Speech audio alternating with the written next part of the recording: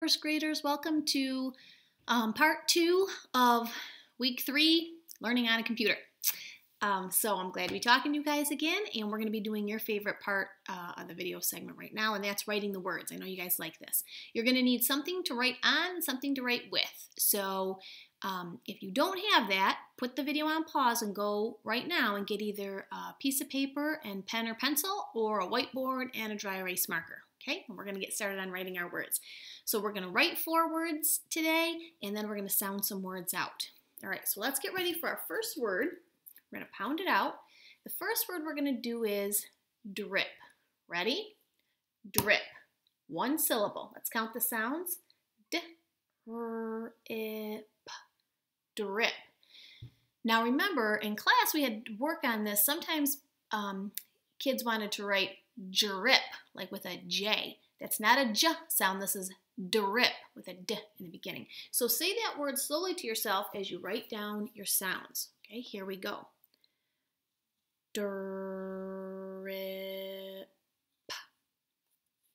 And when you're done, look up here and let's see how we did. Okay, we have two consonants working together to make that dir sound. The D and the R. Drip. Does yours look like mine? Drip. All right, you can leave that word right up there because the next word we're going to do is dripping. So let's um, pound this word out. Ready? How many syllables? Dripping. Two, two syllables. And let's count the sounds. Ready? D, rip, ing. We're using, uh, we say ing as one chunk, right? Dripping. Okay, go ahead and write that word underneath drip. We're writing dripping and do the same thing. Slowly sound that word out to yourself as you write it on your board or paper.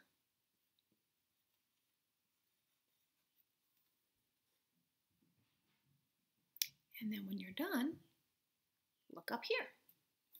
Okay, so for dripping, we're going to have the word drip, just like we did up here, drip.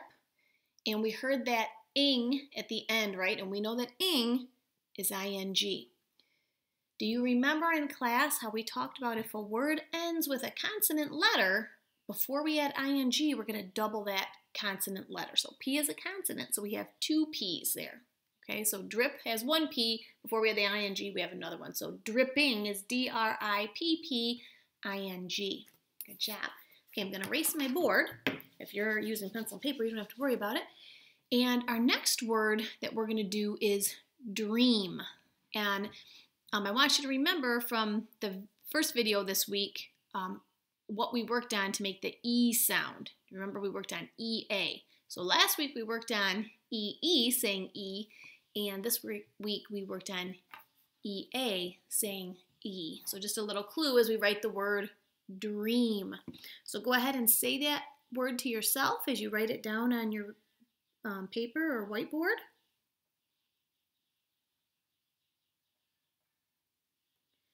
And after you write it down, go back and say that word to yourself, stretching it out, saying it slowly, and see ask yourself, do I have a letter down for every sound that I hear? And sometimes a sound takes more than one letter, right? Okay, let's look at our word. So just like in the word drip, we have that um, DR consonant blend again going dur. So we have dur. Now look at, to get the E sound, we have EA, because that's what we worked on for this week. Dream, dream. Now, you may have, you spelled it like this, good job, and maybe you've seen this word before in some stories. You may have, when you were sounding it out, wrote the word dream this way. Does that say dream?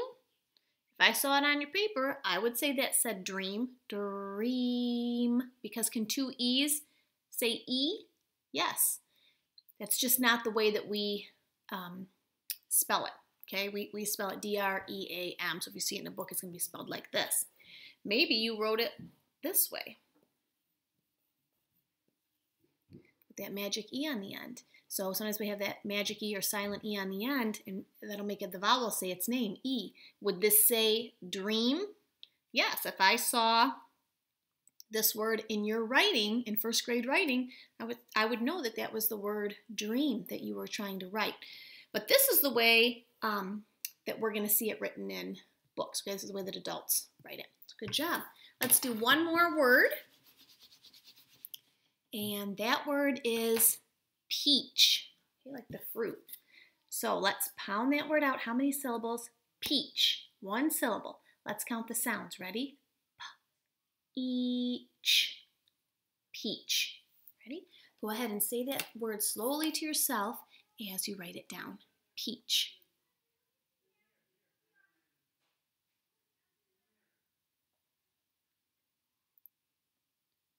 And when you have it um, written down, look up here.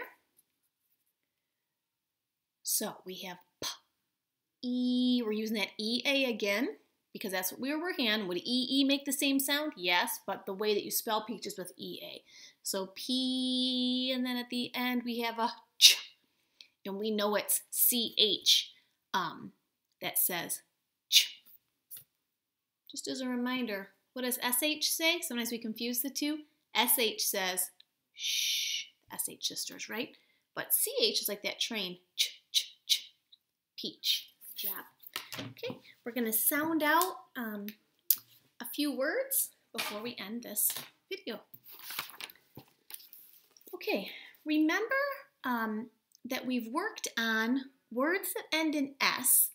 We want to cover that S up and sound, well, let me make sure I'm not covering up the other letter, sound out the word without the S and then add the S sound to the end once we know what the word is, okay? So for sounding this out, we're to sound out without the S first. Lot, lot. And then we add the S at the end, lots. So I have lots of peaches. Okay, look at this word. It has our new um, EA team there we know that EA says E, so this word is eat. Down here, same word, but we've added ing. So this word is eating. Notice in this word, they did not, in eating, you do not double the um, T at the end of the word. We just wrote this word. What was this one? Dripping. Over here, we had the word drip, and we do double the P for dripping. Okay, about this one, what do we have? Ready? Get. This is the word we just wrote. What was this one? Everybody? Dream. Okay, looking up here, you guys sound it out and then we'll say it together. Tent. This one, a word that ends with an S, so we want to cover that S up. What's that word? Eat, and then we put the S on, eats. We just talked about this one. This was drip. This word sound it out, and then we'll say it together. Everybody, gut. This word has EE that we worked on last week, making that E sound. Look at the word, sound it out. Everybody, feel. And this last one is the word that we just wrote. So let's say it together. Peach. Okay, let's go through our, words quickly. Here we go. Lots, eat, eating, dripping, get, dream, tent, eats, drip, gut, feel, peach. Nice work, first graders. Um, so part three is going to be a story. So if you have time, you can start up part three and listen to our story about sharks. And if not, maybe you'll get a chance to listen to that later this week. Okay? Talk to you later. Bye-bye.